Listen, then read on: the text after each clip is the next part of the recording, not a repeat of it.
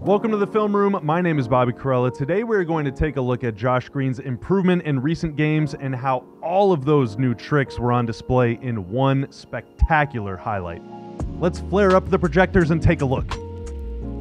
One of Green's biggest weapons is his speed and athleticism. He introduces a lot of quickness and sometimes even chaos into a Mavs offense that at other times can be a little stagnant. So here they're going to run him off a double screen. You got Maxi Kleber coming down, Christian Wood coming down. Josh Green is going to make this curl around the top and get in the lane as long as Spencer Dinwiddie can hit him in stride. So let's see what happens here. So as Green comes off this curl, Dinwiddie does hit him, and now this is going to put Jalen Duren from the Pistons and Kevin Knox in a tough situation. One of them has to get over here and stop Green as he's going up to the rim. Otherwise, it's going to be a dunk but the Mavs have the floor space perfectly. If Duren helps, well, then Maxi Kleber is wide open. If Knox helps, then Reggie Bullock is wide open. Now, neither of them do, and so all of a sudden, we're going to have a dunk. And now keep this action in mind later because we will come back to it in the video. Green comes off that curl hard, gets downhill, and attacks the rim aggressively, daring someone to stop him. And since nobody does, he throws it down for the easy dunk. That is a wreck attack by Josh Green. That, that, that's excellent execution. But of course, it's not just his athleticism that's made him stand out so much this season. It's also his skill and the level of respect that he's beginning to earn from defenses. So as Luka comes off this high pick and roll for Maxi Kleber and Tim Hardaway Jr., he's going to get downhill and fire it out to Josh Green. And now Immanuel Quickley has to get out here now. He can't just stay back. Josh Green is shooting 46% from three this season his name is one of those ones that's going to be underlined and circled and highlighted on the scouting report. You have got to get out there. But if you attack Green too hard on the closeout, well, he'll attack you right back and put the ball on the floor. And he's got the vision and playmaking ability to find Luka there. Nobody's home, and he finds Luka for the easy layup, splitting the defenders. He shows off that jump pass all the time. In this example, he's jumping up wrapping around Isaiah Hartenstein and finding Luka for the easy layup. Through traffic again, Luka to Josh Green. Green drives and the wraparound to Luka. A lot of times it's the other way around. It's yeah. Luka making the great pass, but this time the recipient of one. Here's a terrific example of both his speed and playmaking ability on display all at the same time.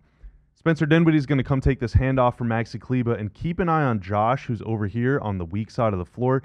As Dinwiddie prepares to make this pass, Green's going to take a couple steps toward the rim to get this sort of downhill head start on his defender, Immanuel Quickley, so that whenever Dinwiddie does make the pass, boom, Josh is already on the move. So here you go. Now Green gets past his man. Now he gets to the lane, and it's time to make a play. So Green has his man beat on the drive, but as he gets close to the rim, in comes big Mitchell Robinson. He's seven foot infinity. If Green goes up for the layup, well, Robinson's going to send that thing into the fifth row. So Josh has to make a play hard to see down there among the trees, right? So Josh has to just trust that somebody, anybody, is going to be out on the wing, and he makes this jump pass better than just about anybody else in basketball, and he's going to fire a strike. Sidearm, laser beam out to Maxi Kleber, who's wide open on the wing. Just a beautiful, spectacular, dazzling pass by Josh Green. Green drives, another levitation, a pass. Hey, Kleber with a shot clock buzzer beater. Here's another high IQ play. Green made several of these in the Mavs' big win over Phoenix. This is probably his nicest one of the night.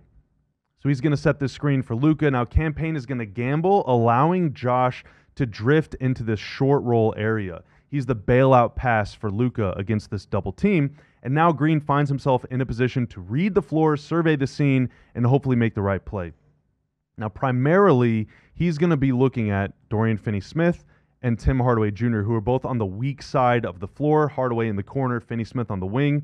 And then he's also going to be looking at Landry Shamet, who's playing the nail. Now, Devin Booker and DeAndre Ayton, he's going to slide over here. Booker's kind of out of the play.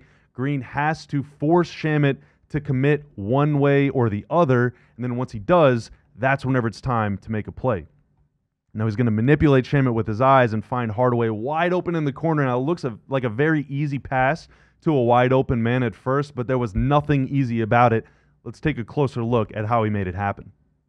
So as Green makes the catch, his first read is going to be Dorian Finney-Smith, and then he's going to sneak a peek over at Tim Hardaway Jr. in the corner, but he can't look too long because Shamet could slide over there and make a play.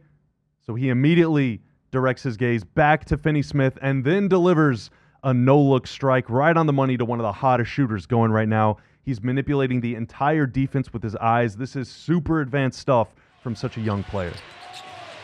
Luka got bumped by two different defenders, found Green, looks off the defense, a la Luka, and finds someone in the corner, and that someone is Timothy Dwayne Hardaway. All right, it's crunch time against the Warriors. The Mavs need a bucket to win the game. They're obviously going to go to Luka, right? Wrong. They're going to go to Josh Green. It's actually Luka who sets the screen for Green here, and you see the chaos that causes. My goodness. You got both Jonathan Kuminga and Andrew Wiggins clutching to Luka, which leaves this massive driving lane for Green right down Broadway. And maybe a player who's not so sure of himself wouldn't exploit this, but Green's got all the confidence in the world right now. He is going to attack the basket hard, take that contact from Andrew Wiggins, and finish right at the rim. He is shooting 89% this season within five feet. That is up from 69% last year. He has hugely improved his finishing ability, and that has been a massive, massive boost to this offense. Green has been a lot more aggressive lately. He's doubled his drives per game in the Mavs' most recent five games, which is huge because this offense just needs more dynamic playmaking. But he's not only driving to finish himself, he's driving to make plays for others. So he's going to take Immanuel Quickley here one on one, break his man down, and find the cutting Maxi Kleber on the 45 for the layup. We expect guys like Luka or Spencer Dinwiddie to make plays like this, not so much the wings. But Green, especially recently, has shown that he has the playmaking ability to take his guy one on one, break them down, get into the lane, and open up scoring opportunities either for himself or for his teammates, and that cannot be understated. Everything that we have looked at already has led us to this moment. A combination of all of the good things that Green has done this year can be seen in this one play.